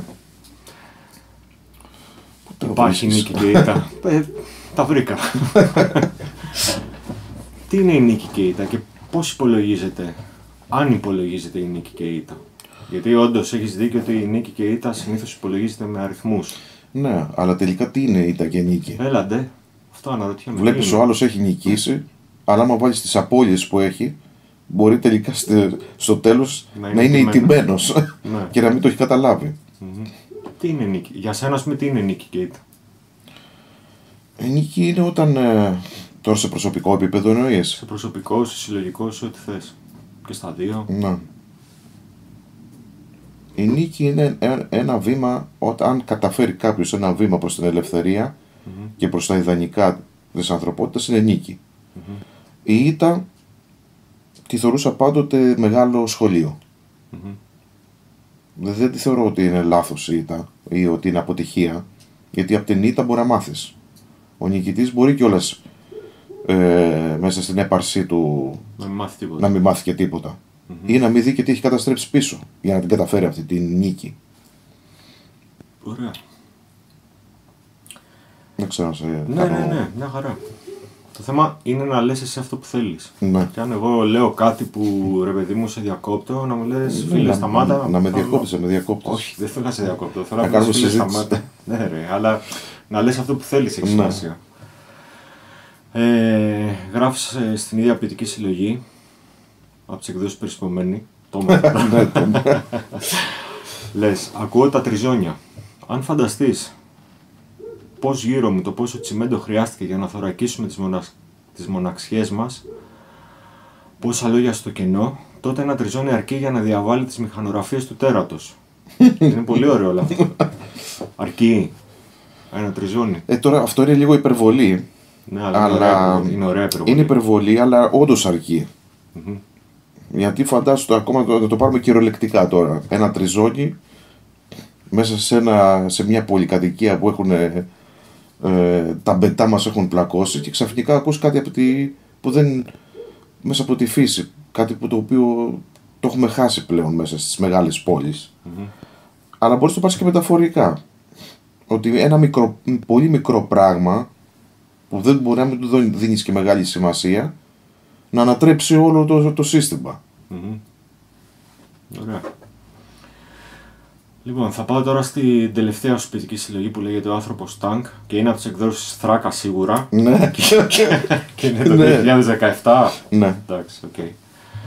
Ε, εντά- αν μου επιτρέπετε μια προσωπική άποψη, ε, νομίζω ότι είναι ό,τι καλύτερο έχεις κάνει μέχρι τώρα. Από. ναι. Αποποίηση. Έτσι, έτσι λένε. Ναι. Νο- νομίζω όμως και εγώ ότι βρήκα εκεί τη, τη φωνή μου Μμμ. Γιατί έχω κάνει, αν, ε, επειδή έχεις διαβάσει και τα προηγούμενα βιβλία βλέπεις ότι πειραματίζουμε πάντοτε στη Ναι. γλώσσα και αυτά Ναι, ναι. Ε, αλλά είναι- στο θέμα της οριμότητας μετά από 20 χρόνια τώρα στο, στο γράψιμο και στα βιβλία και αυτά επιτέλους κατάφερα να γράψω απλά ναι. όχι απλοϊκά, απλά Απλά. όμως με απλά λόγια, λίγα πράγματα ξεκάθαρα. Αυτό νομίζω ότι είναι πάρα πολύ δύσκολο. Εννοείται ότι είναι δύσκολο. Είναι πάρα πολύ Το δύσκολο. πάλευα, το πάλευα, το πάλευα, δηλαδή το προηγούμενο βιβλίο είδες, είναι λίγο ποταμός το Αρλεκίνος. Ναι. Ε, ε, δεν θα ξαναγυρίσω πάλι σε αυτό το, το στυλ δηλαδή, τι- των μεγάλων ποιημάτων και να τα πεις όλα. Αλλά όσο είσαι μικρός και νομίζω ότι μπορεί να τα πεις πραγματικά όλα και δεν, ε, Και δεν μπορείς να τα πεις. ναι, και δεν μπορείς να τα πεις τελικά. Ξέρεις, εγώ όταν διάβασα αυτό το, τον άνθρωπο Τάγκ, Ναι. ε, η πρώτη λέξη που μου ήρθε στο μυαλό είναι μπαμ. ότι αυτό ρε παιδί Ναι, μου, είναι μπαμ. Είναι, Είναι ξεκάθαρο. ναι, είναι αυτό που διαβάζεις. Δεν Ναι. έχει Ναι, πολλά πέρα δόθε. ναι. Με την καλή έννοια το λέω έτσι. Κατα... Ναι, ναι, κατάλαβες ναι, το ναι, λέω. ναι, ναι. Είναι, σε βάζεις σε αυτό που είναι και το Είναι διαβάζεις. ξεκάθαρο, λιτό, ε, δεν υπάρχει ούτε αυτές οι πολλές μεταφορές που μπορεί να σε μπερδέψουν, Ναι, ναι, ναι. να σε- Αυτό. Ε, ούτε αυτές οι εικόνες που μερικές φορές είναι και μεταφορικές και χάνεσαι λίγο. Είναι απόλυτα ξεκάθαρο. Ναι, συμφωνώ. Λοιπόν, θα, θα διαβάσω μερικά πράγματα από αυτό. Από το ποίημά σου τηλέφωνο για τα 40 μου γενέθλια. Ναι. Γράφεις. Μιλώντας στη μάνα. Με ακούς. Άλλο είναι το πρόβλημα. Βρίσκομαι στη γη 15.000 μέρες. Τότε το αν το έγραφες προφανώς. Ναι. Και ακόμα να προσαρμοστώ. Ναι, είναι καθαρά πες μου. προσωπικό ποίημα. Ναι. Για πες. Η αγωνία της μάνας ε, Γράφεις κιόλας ότι με ρωτάει η μάνα με μου ρωτάει αν, αν, αν, τρώω, αν αν τρώω. πίνομαι, αν Είναι η αυτό, ναι. κλασική Ελληνίδα μητέρα που Ναι. ρωτάει τι κάνεις παιδί μου; Μμμ. Ε, νιώθω όμως ότι δεν έχω προσαρμοστεί. Νιώθω απροσάρμοστος σε αυτή. Δεν ξέρω, νιώθω ότι ε, μου είναι δύσκολη η προσαρμογή Μμμ. στη, σε αυτή τη ζωή. Πάντα κάτι θέλω κάτι άλλο, πάντα αναζητώ κάτι άλλο. Δεν ξέρω, οι πρώτες 15.000 μέρες πέρασαν.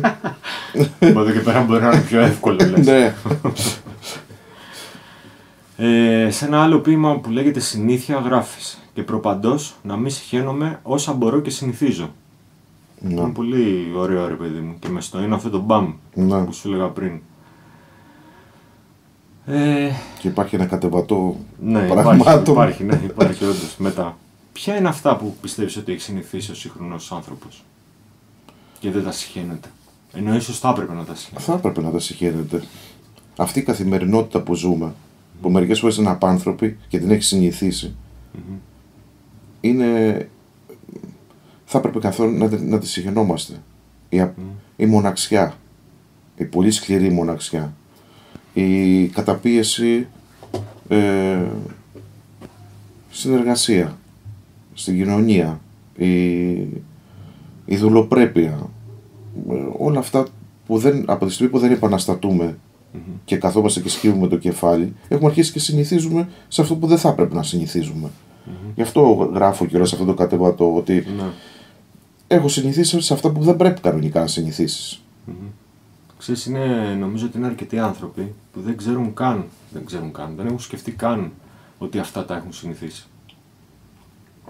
Αυτό είναι ακόμα πιο επικίνδυνο. Δεν δεν έχουν πει Γιατί καν. από τη στιγμή που δεν έχει μπει στη διαδικασία αυτή και δεν ξέρει πού είναι το πρόβλημα και πού είναι ο κίνδυνος και πού είναι ε, τότε δεν υπάρχει και, και ελπίδα να, να Ναι, αφυπνιστεί δεν κάποια υπάρχει, στιγμή. όχι, δεν υπάρχει. Δεν λέω για όλους τους ανθρώπους τώρα, λέω για αρκετούς Ναι. και από το ευρύτερο Ή περιβάλλον ίσως το δικό να, να μην θέλουν. Γιατί άμα έρθεις αντιμέτωπος με αυτό, αρχίζει και σε τρώει αυτό το σαράκι μέσα σου ότι κάτι πρέπει να γίνει. Δεν γίνει. Πώς θα ζω έτσι με αυτή τη ζωή; μου. Ωραία. Ε, στο ποίημά σου τα καλύτερα μυαλά Γράφεις. Και αυτό μου αρέσει πολύ. Τα καλύτερα μυαλά της γενιάς μου δεν τα έφαγε η ξενιτιά, αλλά οι υποκλήσεις. Για πες μου γι' αυτό. Ναι. Ε, Αυτό μιλάω ξεκάθαρα για τη δική μας γενιά. Μμμ. Γιατί α, όντως με- δεν είναι ότι επειδή φύγανε στην ξενιτιά ή χαθήκαν τα καλύτερα μυαλά έξω. Γιατί το λένε, το ακούω κιόλας εδώ πέρα. Α, Αυτό Όλοι υπόνεται πάρα πολύ. τα μεγαλύτερα μυαλά μας τα κλέψαν, φύγανε. Ναι, ναι, φύγαν μετανάστες. Εδώ είναι τι κάνουμε. Εντάξει, και εγώ δεν ζω εδώ, αλλά εννοώ στη, στη σημερινή πραγματικότητα του, της γενιάς μας, η γενιά μας του 90 δηλαδή. Αυτές οι υποκλήσεις είναι ότι κάναμε υποχωρήσεις, σκύψαμε το κεφάλι για να μπορούμε να έχουμε μια άνετη ζωή. Και αυτές οι υποκλήσεις, δηλαδή το, να- το σκύψιμο του κεφαλιού μας οδήγησε στη σημερινή, πραγματι- στη σημερινή πραγματικότητα που ζούμε. Υποδουλωμένοι, ε, ψυχικά καταστραμμένοι, χωρίς ένα μέλλον και θα πληρώσουν και τα, δι- και τα παιδιά μας Μμμ. τις δικές μας ε, δουλοπρέπειες. Ωραία. Έτσι το, το είχα σκεφτεί. Έτσι το έχεις σκεφτεί. Λοιπόν, τώρα θα σου κάνω κάποιες γενικές ερωτήσεις πέραν των ποιημάτων Ναι. των συλλογών σου. Ε, να μου πεις, γιατί άρχισες να γράφεις; Γιατί άρχισα να γράφω; Ναι. Πώς, ας πούμε, σου ήρθε αυτό το πράγμα; Πώς το έπαθες; Ε, υπάρχουν ε, μέχρι τα 16 μου δεν διάβαζα καθόλου. Όχι δεν έγραφα. Τίποτα. Τίποτα. Τίποτα. Ήμουν- Μόνο του σχολείου. Και αν. Και αν. Ναι. Με δυσκολία. Έπαιρνα ή το ποδήλατο ή το μηχανάκι και εξαφανιζόμουν. Μμμ. Ο θείος μου ήταν ε, ο μόνος από όλο τον περίγυρό μου τον οικογενειακό που διάβαζε. Μμμ. Και κάποια στιγμή είδε όμως ότι είχα ανησυχίες, αλλά δεν μπορούσε να, εγώ προσωπικά δεν μπορούσα να, να το προσδιορίσω. ρε παιδί μου. Δεν ήταν, ήταν Δεν μπορεί να εκφράσει. Να εκφραστώ, Αλλά ναι. εκείνος είχε καταλάβει ότι κάτι αυτός είχε τρέχει, ας καταλάβει και μου έδωσε, μου έδωσε ένα βιβλίο, το Λύκο της Στέπας του ΕΣΕ. πούμε. Μμμ. Μου λέει πάρ' το λέει να το ρίξεις μια ματιά. Δεν με πίεσε. Ωραίο βιβλίο. Έτσι ξεκίνησαν όλα. Το διάβασα. Δεν Πόσο, κατα... πόσο ετών ήσουν, 16. Αλλά επειδή ήμουν απέδευτος, δεν είχα διαβάσει τίποτα, δεν κατάλαβα τίποτα. Αλλά σου άρεσε μάλλον όλο αυτό. Ε. Αλλά μου άφησε μια αίσθηση μαγική. Και παθαίνω ένα κλικ.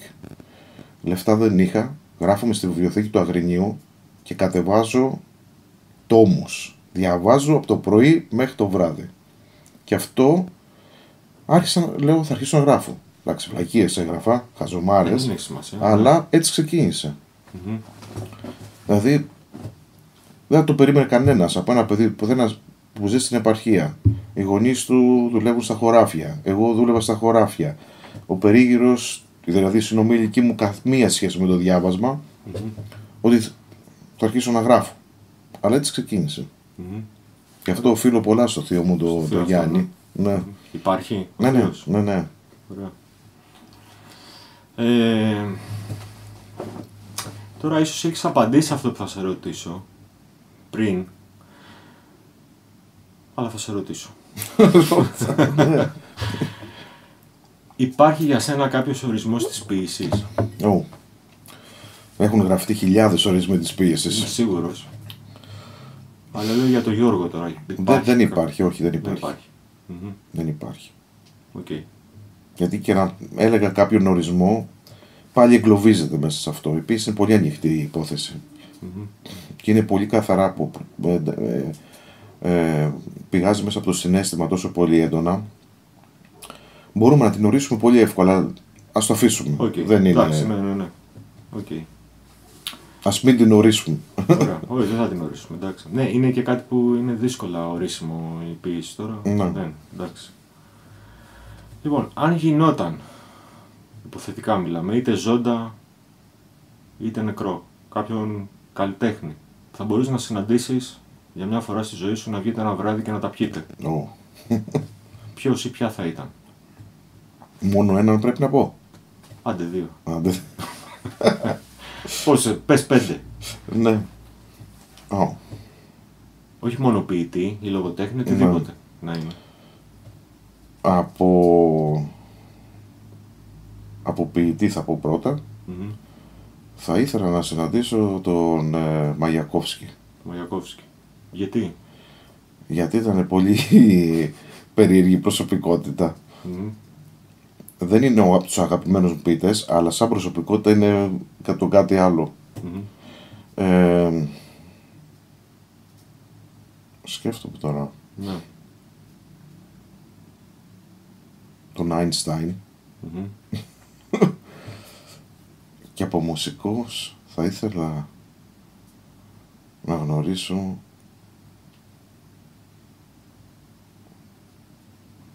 Ε, κόλλησα τώρα. Εντάξει. Έχεις χρόνο να το σκεφτείς. Ναι. Κόλλησα τώρα.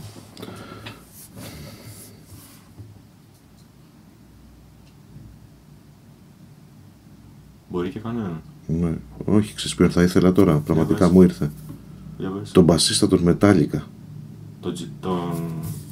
αυτό Που, σκοτώθηκε, ναι. Τον Cliff Burton. Τον Cliff Burton. Οκ. Για- Γιατί. Καλά, έπαιζε φοβερό μπάσο, εντάξει. ναι. Γι' αυτό. και γι' αυτό και αλλά και επειδή έχω, ό,τι έχω διαβάσει από τους Metallica που λένε για τη ζωή του, ήταν πολύ περίεργο άτομο. Ναι. Ανάγκασε όλους τους Metallica να, να φύγουν από το Λος Άντζελες και να πάνε στη, Στο Φραντζίσκο. στο Σαν Φραντζίσκο. Ναι. ε, δεν ξέρω, ε, θα ήθελα να τον γνωρίσω. Θα το γνωρίσεις. Ωραία. Τώρα θα το. Τον εξα- Γκάρλ Μάρξ. Τον Γκάλ Μάρξ. Θα θέλες. Ναι, Μμμ. ναι, θα ήθελα. Άλλον;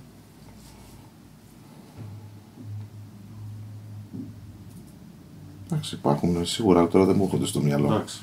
Είναι και αρκετοί αυτοί. Ναι. Νομίζω είπες τέσσερις, δεν είναι Ναι. τέσσερις ανθρώπους. Ναι. Ε, τώρα θα το εξειδικεύσω λίγο και θα σε ρωτήσω ποιοι λογοτέχνες ή ποιητές. Μάλλον ποιοι λογοτέχνες και ποιητές πιστεύεις ότι σε έχουν επηρεάσει; Ναι. Αυτό είναι πιο εύκολη ερώτηση. Ωραία, για πες την απάντηση. ναι.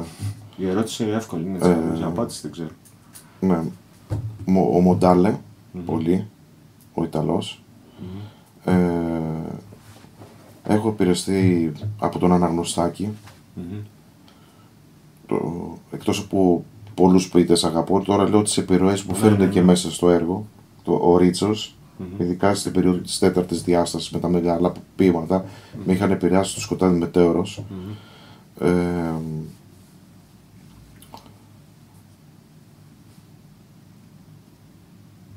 ο Σαχτούρης μ' αρέσει πολύ. Ε, άρα, όχι, δεν- επιρροές όμως δεν έχει. Τώρα λέμε τι μας αρέσει. ρε. Ναι, μπορείς Ε, να πεις ότι επιρροές σ' αρέσει. όμως. Όχι, δεν είναι, είναι θέμα. Κοίτα, αν σ' αρέσει κάτι, Ναι. μπορεί να έχει επιδράσει και σε αυτό που γράφεις εσύ και να μην το καταλαβαίνεις. Ναι, μπορεί κιόλας. Όντως. Μπορεί Όντως. να μην αφήνει σαφές αποτύπωμα, αλλά Ναι. να έχει γίνει αυτό. Ναι. Έτσι δεν είναι.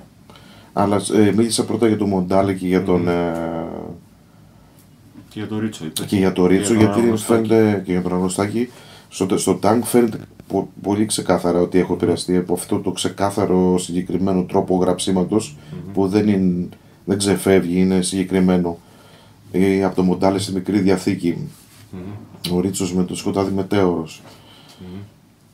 Αλλά ο, αφού α, ο, αυτός που διαβάζει, ας πούμε, όλα μπαίνουν μέσα στη ψυχή σου. Σωστά, ναι, αυτό Έλιοτ, λέω, ναι. Ο Έλιοτ, ο, ο Γάλα Στίβενς, μου αρέσει πάρα πολύ.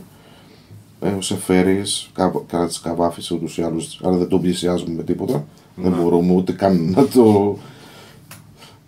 Μένουμε σε βαθιά Να το νερά. προσεγγίσουμε. Να το προσεγγίσουμε. Μμμ. Ναι. Αυτή. Ε, ναι, αυτή μου έρχεται τώρα. Ο, ο Έλιοτ, το είπα νομίζω Ναι, με τον ναι, Έλιοτ, ο ε. Έλιοτ, ναι. Μμμ. Ε, από τους Γερμανούς, ε, ο Ρίλκε, πολύ. Μμμ. Α, τώρα λέω για τους ποιητές, έτσι, γιατί υπάρχουν Ναι, και, ναι. α- ε, και πεζογράφοι που με έχουν επηρεάσει. Για πες.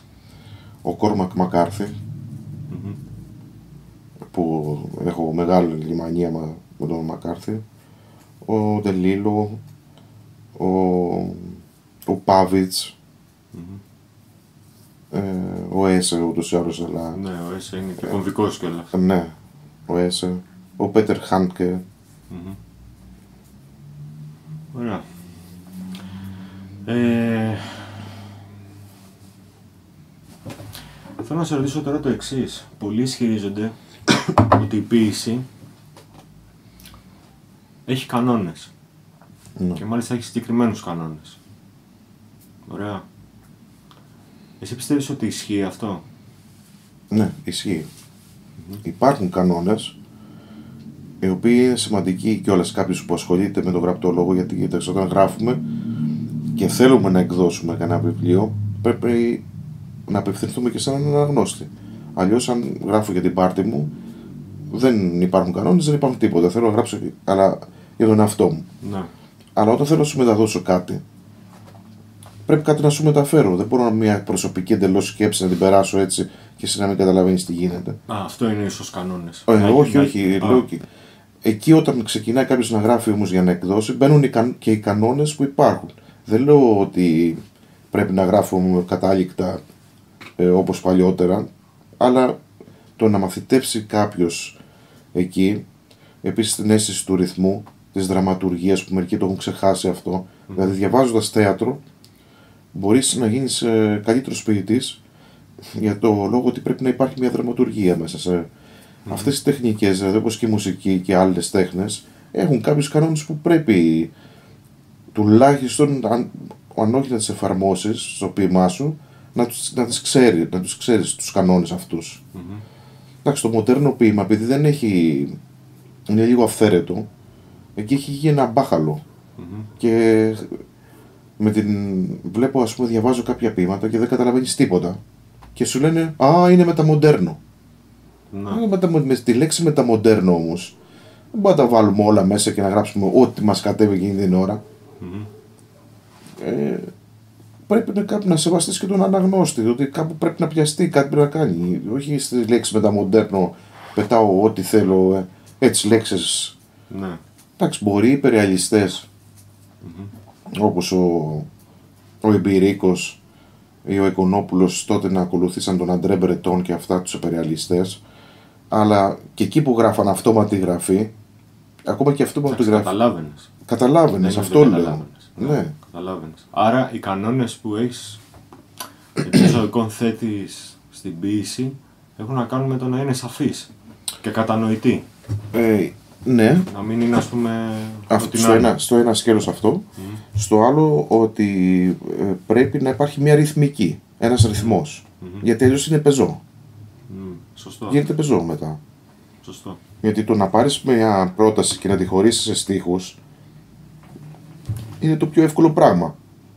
Αλλά αυτή η μουσικότητα και εκεί βοηθάει και όλες, βοηθούν οι κανόνες που δεν είναι κατά ανάγκη να τους, να τους ακολουθήσεις σήμερα να είναι ομικοτάληκτο το ποίημα, να έχει ή άμβους ή 15 σύλλαβους και αυτά.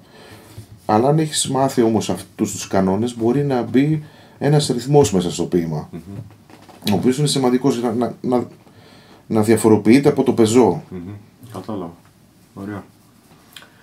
Ε, θέλω να μου πεις το εξής. Από όσα ξέρεις εσύ στο εγχώριο ποιητικό τοπίο. Είναι ένας χώρος η ποίηση εκμεταλλεύσιμος από τους εκδότες ή θα το πω τώρα χήμα. Ναι. Δεν βγαίνουν και πολλά φράγκα και εντάξει δεν τρέχει και τίποτα. Δεν μπαίνουμε σε ένα θέμα που πονάει. από την ποίηση δεν βγάζει κανένας χρήματα. Πρώτον. Μπορεί να βγάλει τους ποιητές όμως. Μπορεί να βγάλει από τους ποιητές όμως. Να. Δυστυχώς. Θα πω και τα ευτυχώς, αλλά θα πω και τα Ναι, δυστυχώ. βέβαια. Αρχικά τα δυστυχώς. Το δυστυχώς είναι ότι ε, στην Ελλάδα όλοι νομίζουν ότι, ότι είναι ποιητές. Και αυτό το έχουν, το έχουν εκμεταλλευτεί πάρα πολλοί εκδότες. Δηλαδή κάποιος γράφει πέντε στιχάκια, θέλει να τα βγάλει σε βιβλίο. Πάει στον εκδότη, ο εκδότης του ζητάει 1500 ευρώ, 2000 ευρώ και τα δίνει για να Και το βγει ένα βγάζει. βιβλίο. Αυτό κάνει τον εκδότη πλούσιο. Γιατί ο, ο εκδότης για ένα βιβλίο τώρα 64 σελίδων, ας πούμε, τρία τυπογραφικά, μπορεί να του στοιχήσει 500 ευρώ και έχει βάλει 1000 ευρώ στην τσέπη. Έχει εκμεταλλευτεί έναν άνθρωπο ο οποίος έχει το πάθος για την ποίηση, άσχετα αν είναι καλό ή κακό, Που μπορεί να είναι και καλό κιόλας. που μπορεί να είναι και καλό. Δηλαδή παίζει να είναι και καλό. Ναι, το, δι- εγώ το πρώτο μου βι- δεν ξέρω αν είμαι καλός, αλλά το λέω για την περί- δική μου περίπτωση. Το πρώτο μου βιβλίο το, το πλήρωσα. Άγνωστος ποιητής, ε, χωρίς διασυνδέσεις μέσα στον χώρο, γιατί υπάρχουν και αυτοί, είναι αδύνατο να μην το, να μην το πληρώσει το πρώτο του βιβλίο. Μετά, αν είναι λίγο τυχερός, ακουστεί το βιβλίο του και αυτά, ε, δεν πληρώνει. Αλλά πάλι είμαστε μια μειονότητα μέσα σε όλη αυτή τη σωρία ποιητικών βιβλίων, πολύ λίγοι που δεν πληρώνουν τα βιβλία μας. Οι εκδότες βγάζουν, εκμεταλλεύονται αυτούς τους ανθρώπους και αυτό δεν μου αρέσει καθόλου. Στη Γερμανία δεν υπάρχει ας πούμε αυτό. Ναι, ναι. Γι' αυτό και βγαίνουν πάρα πολύ λίγα βιβλία. Πάρα πολύ λίγα βιβλία ποιήσης. Γιατί ο εκδότης θα πει: Φέτος θα βγάλω μόνο δύο, θα τα πληρώσω, θα τα προωθήσω, δεν θα βγάλω λεφτά.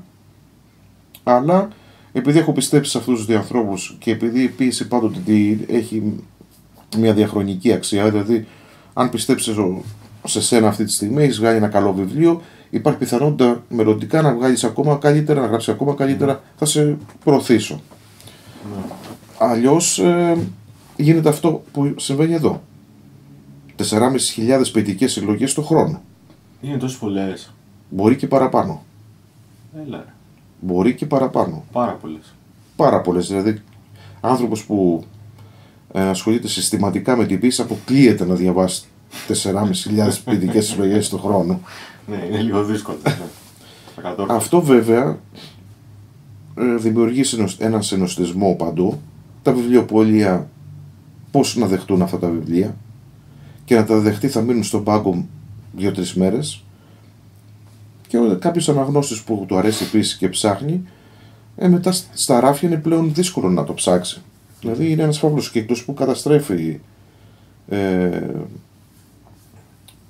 την υποβιβάζει, την υποβαθμίζει αυτή την τέχνη και ε, πέφτει και σε αυτό το, το, το σχήμα της, του, του χλεβασμού δηλαδή. Γελάνε ο κόσμος. Λέει α, ποιητής τώρα, γκάτς. Εντάξει, όλοι γράφουν ποίηματα, αυτά ακούς. Ναι, Ο, ναι, αλήθεια είναι αυτό. ο ποιητής φανφάρας και... Ναι, ναι, ναι, αυτά. ναι. Εντάξει, αυτά λένε. ναι. Αν ένας εκδότης ήταν σοβαρός και έλεγε δεν το βγάζω αυτό. Αλλά δεν έχουν ιδέα και τι, τι είναι ποίηση. Λένε όλα μπορούν να γίνουν ποίηση. Εντάξει, όλα μπορούν να γίνουν ποίηση, αλλά πρέπει να υπάρχουν και αυτοί οι κανόνες που λέμε Ναι, που πρέπει. να έχεις ένα κριτήριο, ρε παιδί μου, ένα κριτήριο πρέπει να υπάρχει. Δεν το κάνουν γιατί κερδίζουν. φράγκα. Δεν τα φράγκα και, και γίνεται αυτό που γίνεται. Από την άλλη, το θετικό είναι ότι υπάρχουν μικροί εκδοτικοί οίκοι οι οποίοι ενώ παρόλα αυτά δεν βγάζουν λεφτά, δηλαδή ίσα ίσα που συντηρούνται, είναι σοβαροί άνθρωποι, το παλεύουν και επιμένουν στην καλή ποίηση. Μμμ.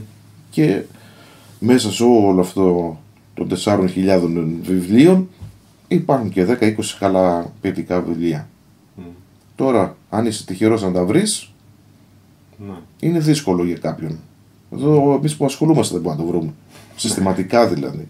Ναι. Και είναι μερικές φορές σκέφτομαι ότι μπορεί να έχω αγνοήσει κάτι κα- πολύ Προφανώς, καλό. ναι. Εντάξει. Μέσα σε μια τέτοια πληθώρα Ναι. προφανώς χάνονται πράγματα. Χάνονται, Ναι, χάνονται. Προφανώς. Ε, να σε ρωτήσω τώρα το, εξ, το εξής. Από ότι έχω δει γράφεις και κριτικές ποίηματων, σωστά; Ναι. Ωραία. Αλλά σαν αναγνώστης όμως περισσότερο. Δηλαδή γράφω τη, την προσωπική μου άποψη το πώς ε, τι μου άφησε το βιβλίο σαν αναγνώστης. Ναι, αλλά δεν μπορείς να διαχωριστείς από την ιδιότητα ότι γράφεις και ποίηση. Αναγνώστης μεν, Ναι. αλλά γράφεις και εσύ ποίηση. δε. Εντάξει, ναι, δεν, Ναι, δεν γίνεται να αμέ, διαχωριστεί. ναι, δεν είμαι, ναι. αντικειμενικός δεν μπορώ, δεν μπορώ Όχι, να είμαι. δεν είναι. Αντικειμενικότητα δεν υπάρχει έτσι κι αλλιώς. Ναι. Αλλά θέλω να σε ρωτήσω το εξής. Με αφορμή το ότι εσύ έχω δει ότι γράφεις κριτικές ποιημάτων. Ναι. ωραία. Ε, ποιος, ποιος είναι ο λόγος να υπάρχουν ε, ας πούμε κριτές ποιημάτων ή κριτές στην τέχνη ή δισκοκριτικοί ξέρω. Ναι, Έχω γράψει και εγώ δισκοκριτικές, ναι. δύο, τρεις, τέσσερις και μετά αναρωτιόμουν και έλεγα ρε φίλε εσύ τώρα ας πούμε τι παριστάνεις σιγά και τι έγινε. Ναι, ε, δεν παριστάνω κάτι. Όχι εσύ ρε. Λέω τώρα Όχι. γενικά ότι ξέρεις. Αλλά είναι αυτό που λέγαμε και πριν. Μμμ. Όταν γράφεις ε, κριτική για ένα βιβλίο που σου έχει αρέσει, το διαχωρίζεις μέσα από αυτή τη μάζα των 4.000 βιβλίων. Μμμ.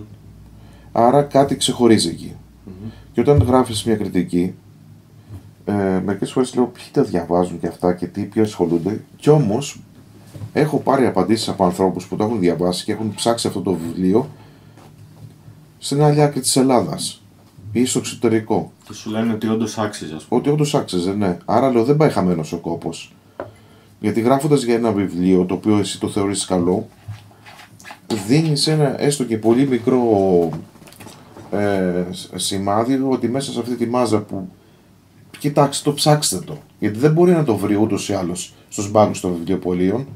Άρα μπορεί να το αναζητήσει να το παραγγείλει ή να, να το ψάξει κάποιος που θέλει να το διαβάσει. Δεν είναι δηλαδή κριτικές. Αν δεν γραφόταν πουθενά τίποτα κριτικές, καθόλου κριτικές. Ναι, κατάλαβα, εντάξει, ναι. Δεν θα είχε κανείς ιδέα για το τι. Ναι, και οι δισκο- οι δισκοκριτικές που λες που έχεις γράψει, γιατί; Ε, αναφέρεις για ένα, για, ένα, για ένα καλό δίσκο. Ναι. Γι' αυτό δεν γράφω αρνητικές κριτικές. Δεν θα καθίσω να ασχοληθώ τώρα με ένα βιβλίο που δεν μου αρέσει. Μμμ. Δεν θέλω να, τρι- να κάνω ίντρικα δηλαδή ότι αυτό το βιβλίο δεν αξίζει και αυτά. Ναι, κατάλαβα. Θα ψάξω αυτό. Α πούμε, μου στέλνουν βιβλία πάνω πολλά. Θα διαβάσω. Αν με- μου αγγίξει, λέω πάντοτε, αν βρω τρία με τέσσερα ποίηματα τα οποία λέω ότι είναι πολύ δυνατά, θα γράψω. Ωραία. Δηλαδή, είναι πολύ σπάνιο επίσης να βρεις ολόκληρο βιβλίο. Με, να, Να σου αρέσει ολόκληρο. να μου αρέσει με προσωπικά Ναι, ολόκληρο. ναι, ναι. Μμμ. Ωραία. Λοιπόν, ε, φτάσαμε τώρα στις δύο τελευταίες ερωτήσεις. Επειδή έχεις μεταφράσει και πράγματα. Μμ. Ωραία. Ε, ποια είναι τα κριτηριά σου για το τι θα μεταφράσεις; Εκεί τα είναι καθαρά προσωπικά. Εννοώ δηλαδή, αν μου αρέσει κάτι πάρα πολύ στα, στη γερμανική γλώσσα, όπως είχα μεταφράσει του Dutch Grundbein, το οποίο ήθελα οπωσδήποτε να το διαβάσω στα ελληνικά δηλαδή. Ναι. Είναι του, του χιονιού ή ο Descartes στη Γερμανία, ένα ποίημα ε, σαν μυθιστόρημα, αλλά ποίημα όμως, που είναι σε 42 κεφάλαια, είναι 200 σελίδες βιβλίο. Το Και είναι οποίο, αυτό ένα ποίημα. ναι, αλλά σε κεφάλαια. Σαν, Σε κεφάλαια. Ναι, είναι ο Descartes Μμμ. που είχε διαμείνει στη Γερμανία για ένα μικρό διάστημα και γίνεται ένα φοβερό ποίημα. Είναι τρομερό, είναι, είναι ο Γκυλότ και ο Ντεκάρτ. Το Γκυλότ είναι η, αντιπροσωπεύει ο Γκυλότ την ε, σάρκα και ο Ντεκάρτ τη- τη- το πνεύμα Μμμ. και κοντραρίζονται συνέχεια σε όλο το βιβλίο. Μμμ. Είναι πολύ δυνατό. Όταν το πρωτοδιάβασα στα γερμανικά, λέω θέλω να το μεταφράσω οπωσδήποτε. Γιατί θέλω να το ξαναδιαβάσω εγώ στα ελληνικά. Ναι. Ε, παλιότερα είχα κάνει Ινδιάνους ποιητές, οι οποίοι μα- μου άρεσαν πολύ. Εντάξει, δεν είμαι δηλαδή συστηματικό μεταφραστής Ναι, ναι, ναι. και ούτε σαν επάγγελμα. Γι' αυτό επιλέγω αυτά που μου αρέσουν πολύ. Ωραία. Λοιπόν, η τελευταία ερώτηση είναι η εξής. Έχεις κάτι στα σκαριά; Δεν θέλω να μου πεις ρε παιδί μου ότι θα κάνω αυτό και εκείνο, αλλά ενώ γράφεις, έχει. Ε, Ναι, γράφω, γράφω συνέχεια. Αλλά εντάξει, δεν καίγομαι τόσο πολύ για, να- για τη δημοσίευση. Είμαι σε μια φάση τώρα. Ε, γράφω καινούρια ποίηματα. Ε, πετάω περισσότερα. Ε, τα διορθώνω, τα επεξεργάζομαι σε αυτή τη φάση. Αλλά δεν έχω ετοιμάσει δηλαδή κάτι να μπει σαν ένα κορμό να φτιαχτεί ένα βιβλίο δηλαδή. Ωραία. Γιώργος, σε ευχαριστώ πάρα πολύ. Εγώ σε για την ευχαριστώ κουβέντα. πάρα πολύ. Να είσαι καλά. Ευχαριστώ.